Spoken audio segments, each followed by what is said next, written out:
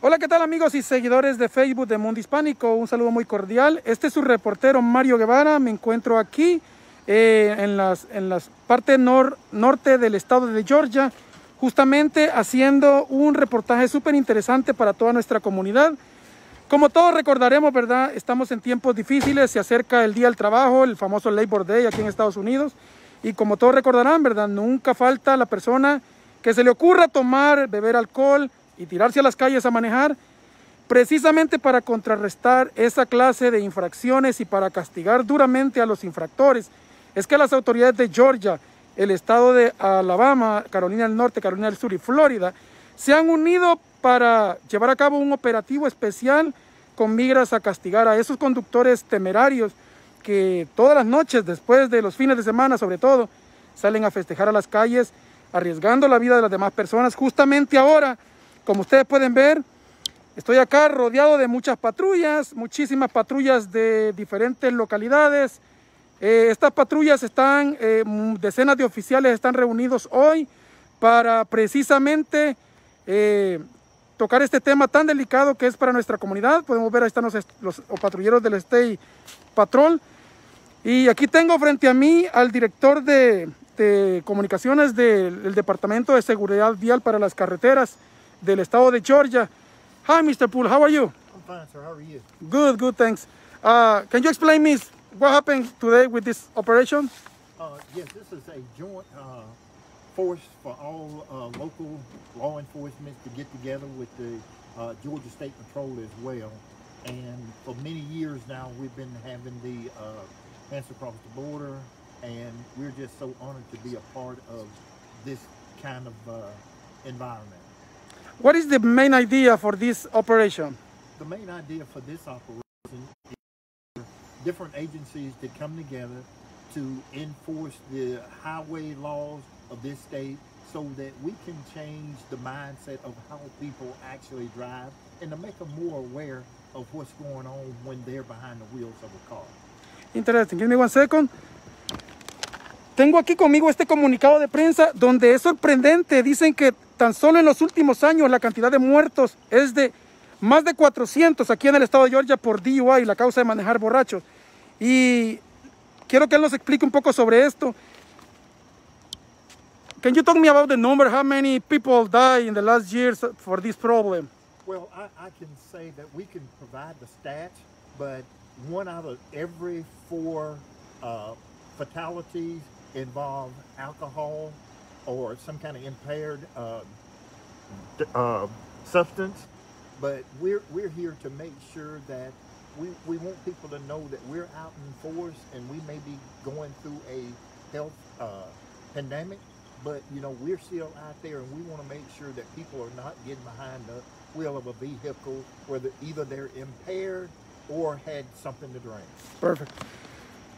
¿Pueden ustedes creerlo? Básicamente me está diciendo el funcionario que, básicamente me está diciendo el Perdón, este, hubo un errorcito ahí. Me está diciendo el funcionario que uno de cada cuatro personas que murieron en accidente de tránsito el año pasado fue por culpa del DUI, fue por culpa del alcohol. Increíble, tantos conductores irresponsables. Uh, this is part of the zero tolerance operation is, is 24-7. Yes, sir. we're here today to bring all lo local law enforcement agencies together, mm -hmm. and it's a joint force. Uh, it's not just a single force, but as you can see by the vehicles that's in the parking lot, you know, it's a collaboration of different agencies coming together to effectively make sure that we get the word out and make sure that people are not getting behind a, a vehicle and they've been drinking or impaired. Uh, some people believe uh, this kind of operation is something like uh, racial profiling or something like Can you explain me what is real or not? Well, and this is very real. I mean, you know, we're here to do a job and we want everybody to understand that we're going to do our job and we're going to let people know that we're in full uh, force and this is not just one single agency, mm -hmm. but mm-hmm. it's a collaboration. How many agencies?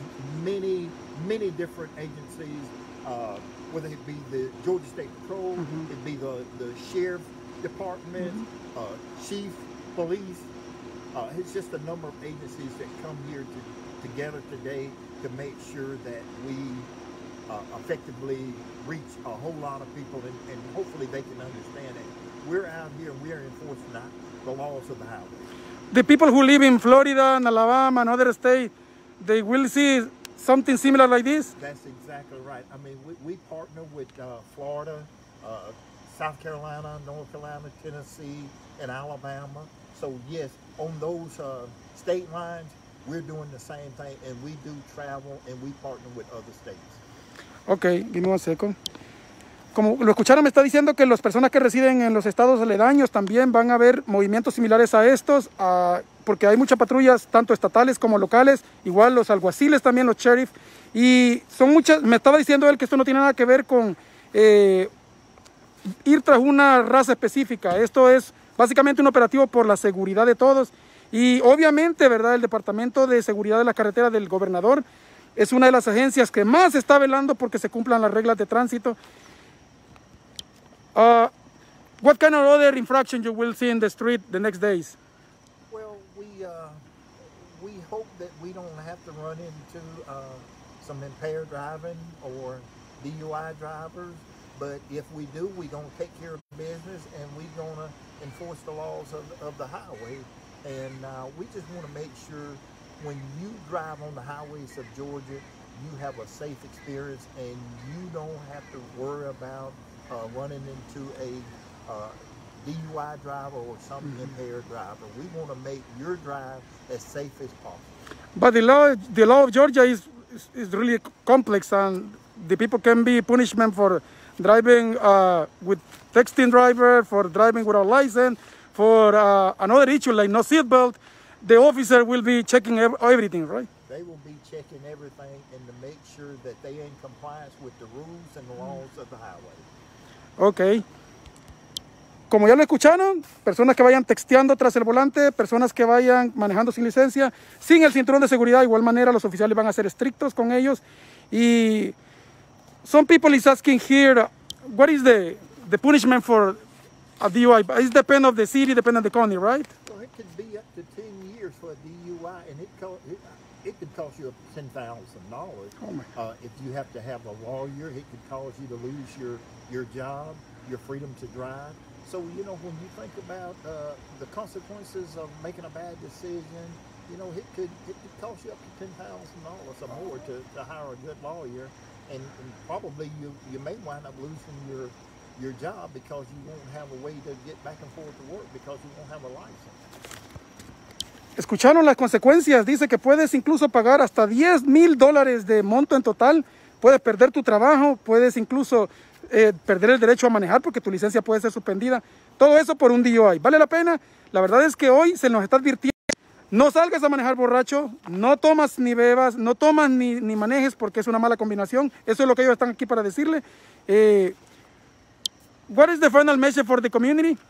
Uh, the final hey, make sure that you buckle up, you don't drink and drive, uh, you stay attentive behind the wheel, uh, wear your seatbelt, and obey the, the speed limit.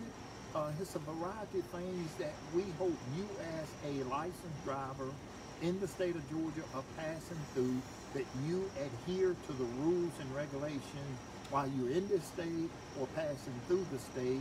And for local citizens, we just want to uh, remind them that we're still out here just because of the pandemic, mm -hmm. we're still out here and we still going to do our job.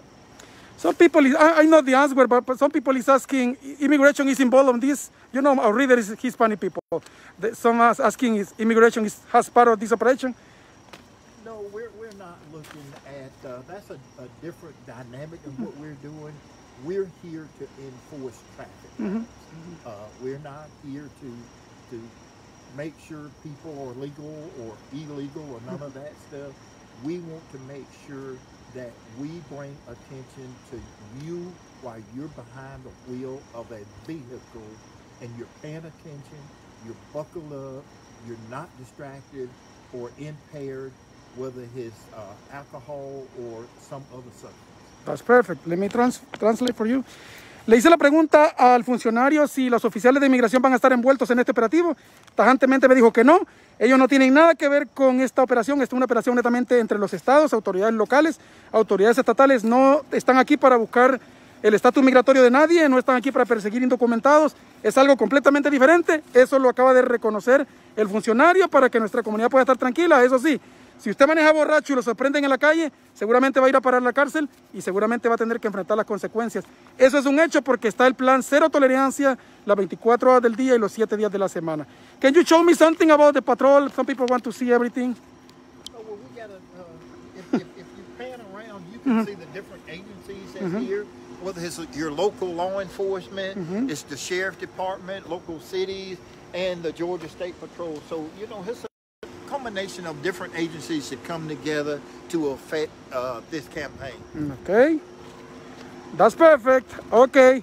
Thank you so much. Thank you.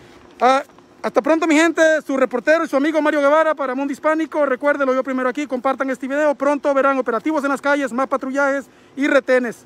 Tenga cuidado. Hasta pronto.